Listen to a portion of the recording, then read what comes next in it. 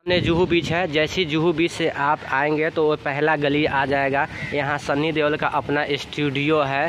Sunny studio के नाम से जाना जाता है, जो मुंबई में बहुत फ़ेमस है। और आगे से वहाँ से मुड़ेंगे तो अक्षय कुमार के घर के लिए गली गया है। और ये जो है सन्नी स्टूडियो है, जो धर्मेंद्र को आप जो लोग जानते होंगे, हेमा मालिनी। सन्नी बेला जाना मूवी में काफ़ी दिखाया गया है। सन्नी बेला के नाम से जाना जाता है। सन्नी स्टूडियो है, देख सकते हो। इसमें स्टूडियो में क्या होता है कि जितने भी मूवी वगैरह है, सारा शूटिंग होता है। इसी में, इसी के अंदर में रिमिक्सिंग वगैरह सारे चीज़ इसमें किया जाता है।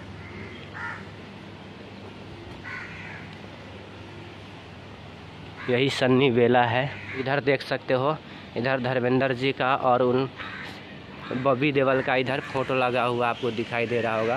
ये धर्मेंद्र जी का बॉबी देवल का है।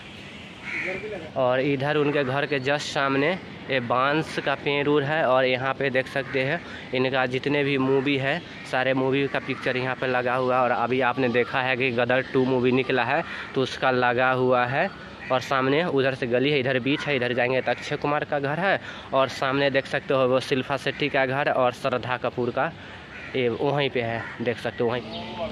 तो दोस्तों, ये जो घर आप देख रहे हैं शिल्पा शेट्टी जी का घर है, जो सुपर डांसर की जज है और काफ़ी शानदार एक्ट्रेस भी है, काफ़ी सारा मूवी भी ये दे चुकी हैं और काफ़ी उनका नाम चलता है और जिस बिल्डिंग में रहते हैं, उसका नाम किनारा है और इसी बिल्डिंग में वो रहती हैं और काफ़ी शानदार यहाँ का माहौल भी है। देख सकते हैं, बाँस वगैरह भी लगा हुआ है और यहाँ पर काफ़ी ज़्यादा पेड़ पौधा भी है। यहाँ का वातावरण बहुत ही बढ़िया है और बिल्डिंग भी उससे ज़्यादा शानदार है और उनके घर के बगल में जस्ट इनका घर है, शक्ति कपूर, जो श्रद्धा कपूर है, आप लोग जानते होइएगा एक से बढ़कर एक मूवी दे चुकी है छम छम बारिश वाली जो गाना है उस टाइगर श्रॉफ के साथ उसके साथ निकाली हुई है आप लोग जानते होइएगा। यही श्रद्धा कपूर का घर है जो उनके पिता का नाम शक्ति कपूर है और इस बिल्डिंग में रहती है। हालाँकि बिल्डिंग पीछे है काफ़ी शानदार बिल्डिंग बनाया गया है और इन, इन इनके पास काफ़ी महँगी महँगी गाड़ी भी है जो आप अंदर में देख सकते हो। यही है यहाँ से लेकर और वहाँ तक और सामने उधर शिल्पा शेट्टी जी का घर है।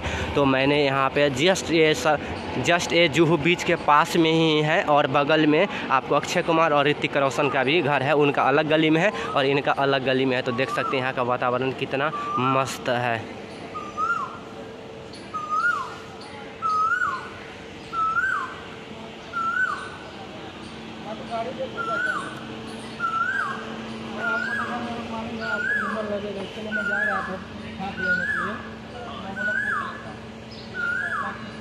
काफ़ी शानदार मकान बना रखा है इन्होंने।